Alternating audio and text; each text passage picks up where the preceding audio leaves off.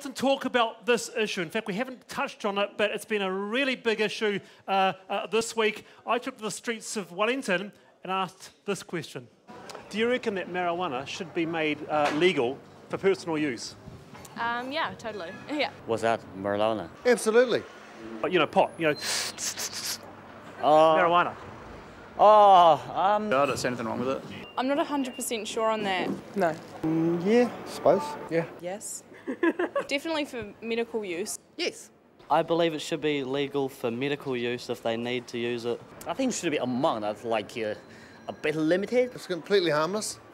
Well, it's not completely harmless, though, is it? I think as long as you're responsible, over 18, maybe even over 25 actually. I wouldn't recommend it for anyone that has a schizophrenic disorder or anyone that has health complications that uh, the doctor wouldn't recommend it otherwise. Who's been ever hurt from having uh, the odd puff and joint? Just seen a lot of people go pretty downhill. It's no different than drinking beer. Yeah, I don't think it harms anyone because more people get drunk and go out be violent, but if they smoke it, they can't really be bothered getting off the couch. And they just sit there and enjoy things. People should be allowed to pick and choose what they do. Yeah. It's hard, Stuart, eh, when you have a sweat, you know, you can't be bothered getting off the couch. The Napier sunset, you know what I mean? Hey, well, it's all these people got off the couch to come in Yes, and they support. so it can't be that bad. And, and, a, and a big crowd tonight talk about this. We haven't talked about this, but just around the panel, because we've got a few guests in this tonight. Around the panel, do we need a law change on this issue? Stuart Nash. well, what I'm going to say, for medical use, yes, we do. outside of medical use, for, for a, a bit of pot uh, on your person, make it legal. Yes or no? Uh, I'm, uh, I don't mean to sound um, on the fence, but I need to see a lot more evidence to convince me that we legalise or decriminalise. Wow, all but right. medical use, yes. Okay, Alfred Ngaro, legalise cannabis for personal use. So here's a straight up answer no. But here's the reasons why. There's a lot of profiling around medicinal use, especially those with terminal illness. But what we don't have enough profiling is the impact and effect, health, social wise, and even psychologically, with the use of cannabis. We have had so I think it's important. dozens While we of talk about the sympathy, and, and I, I agree there is a sympathy, but let's talk about the impact. We don't talk about enough of the social impact. Wallace, let's talk about this. We've got child abuse, we've got domestic violence, we've got binge drinking, we've got a whole lot of social issues. Do you really No, think New Al- Zealand Alfred, needs Alfred, another drug? You are. Can I to su- complicate can, can I things. suggest that we are now uh, the people? Who- You are out of step with the times. You are out of step with the times. I don't think so. Society is changing. Yeah. Society who? is changing. Says who? A poll of 1,029 people? Says the population. I don't says think the so. population. But, but Next Wallace, I tell you what's not out of step is that when I was down there at Spring Hill Prison on a Monday, talking to some of the inmates there, let's talk about the reality. See, it's all very nice for us here in a nice, cozy, warm cafe, right? But let's talk about the impact that it's having on people in their lives. Stop broken families, broken then. lives, start off with cannabis. Are you going to deal with that? Absolutely not. Stop arresting martyrs. Strong, strong stuff from Alfred Ngaro. What do you think? Do you think that cannabis should be made legal, a bit on your person? What do you think? Well, we've always yes or believed no? that Yes or no? Decriminalisation should be the law. Legalisation? Yeah, decriminalisation, and then we're reviewing that as well because we agree that the world's changing. There's a younger generation, and we're sick of this being treated as a crime when it's a health issue. it I needs to be decriminalised Well, and treated as a health issue. Stop putting young Māori in prison. But we have more people in prison for this than anything else. We cannot help their health issues, Alfred, if we keep locking them up and throwing away the key. Why have another drug? Well, we already have it. That's the point. Alcohol is.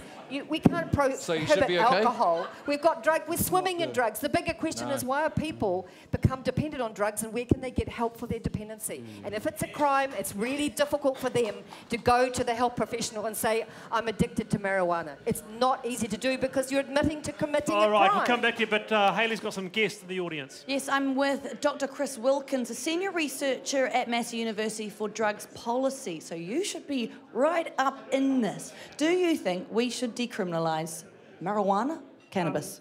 Well, I don't think you can answer that question yet. So it's um, that's only part of the question. So the real thing for me would be what type of regime are we talking about? So if we were talking about a profit-driven commercial market, we had retail outlets and marketing advertising, I wouldn't be in favour of that. But if we're talking about a social club model, a non-commercial model, a decriminalisation model, I think there could be benefits there. Now, there's obviously health issues, though, with marijuana for young people. That's right. So, so no, every, no one's denying that there's health risks related to cannabis use, but occasional moderate cannabis use is in the ballpark of all the other drugs that we allow to be legally sold. So, tobacco is the most health risk drug, and we allow that to be sold. Um, but what about booze? Exactly. So there's booze, but the right type of regime, what I'm talking about, is yes, we've got to make sure that this is not sold to 16 year olds and 17 year olds, and we have a very controlled regime that's focused on public health and not commercial profit. So we're actually surrounded by a lot of adults who are legally self-medicating right now.